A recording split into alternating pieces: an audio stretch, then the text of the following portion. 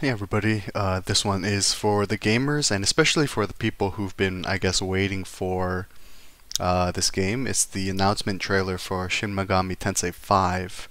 Uh, it's a long-running uh, Japanese video game series. Uh, I don't know too much about it. I haven't really played it myself. All I know is that the Persona franchise, I think, spun off of Shin Megami Tensei. But I think I heard rumblings of how uh, the fifth one, I guess people are kind of anticipating it and kind of wondering when it's going to be announced or when it's going to release. So let's take a look and um, yeah, let's let's just look at this. I I probably won't have any idea of what's going on.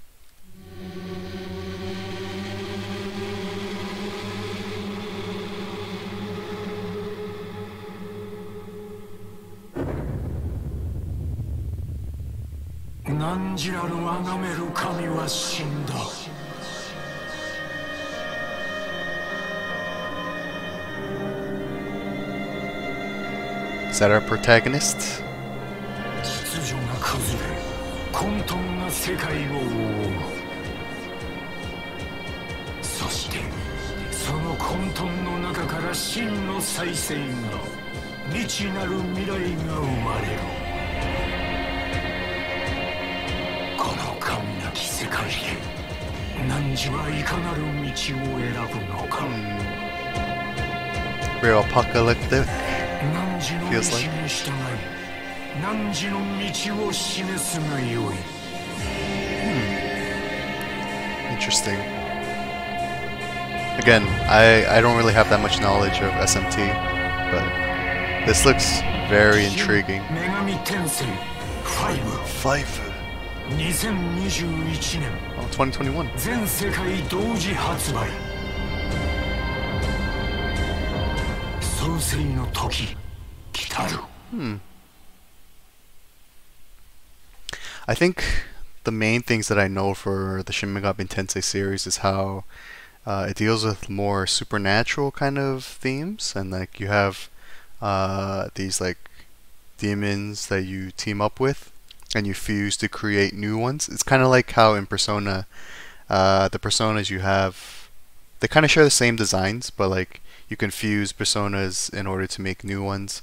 Uh, I'm not sure how in depth it is with the Shin Megami Tensei series, but uh, you know, I, I feel like uh, the SMT series is more like um, it's more serious than the Persona uh, games. I feel like I might be wrong. Someone will probably correct me in the comments. Please do.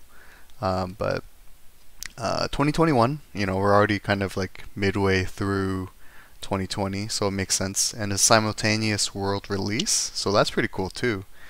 Um, but it looks like, at least from the trailer, uh, what is it? Like the protagonist maybe chooses whether to go one way or the other. You know, choice is a big uh, factor uh, in the Persona games, and I, imagine in the uh, Tensei games as well. So makes sense. Um, but yeah, I can't really speak to the anticipation for this game because I myself uh, I haven't played the series. I want to though. I want to explore it. Um, I think they're also remastering the third game, which is called Nocturne. I'll leave a link in the description for the trailer for that game. But uh, for all the people out there who do know this uh, series and have played it, are you excited for the fifth game? Are you um, are you kind of uh, also a Persona fan as well? Um, what is it about the Shin Megami Tensei series that you like? Uh, let let me know in the comments below. And as always, thank you for hanging out. Thanks for watching another video, and I'll see you in the next one.